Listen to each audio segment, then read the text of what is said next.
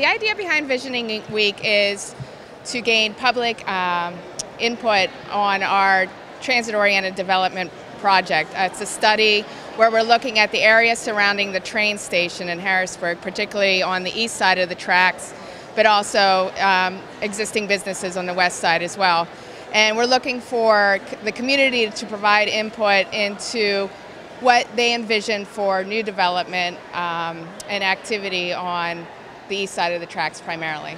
We're hoping to come with a concept plan at the end of this week, uh, very conceptual, and then by the end of the month, we'll uh, pull that into more detail to share back to the community as far as the direction we want to then take for implementing some of the concepts that come out of this week. The train station is an important asset uh, to Harrisburg, the city itself, as well as the surrounding region.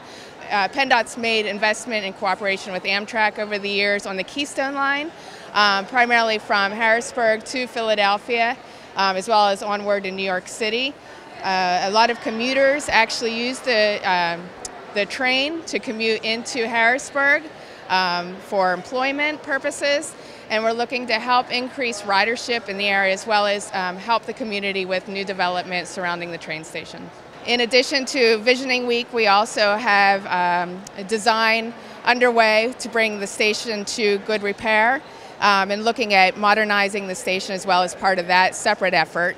Uh, but ultimately, with this transit-oriented development study, we're really um, hoping for the community to come out this week. Um, today, tomorrow, and Thursday, we have activities all day long. And um, they could visit our website at planthekeystone.com for more information on the scheduled activities, and it's open to the public throughout the entire uh, next couple days.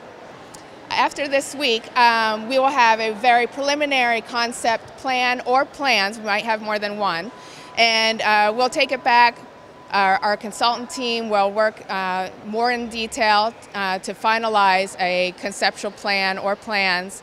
And we're looking at October 27th uh, as being a, kind of an unveiling of that conceptual plan to the public. And so anybody who's interested can come to the train station um, at any point pretty much during the day and we can share those designs.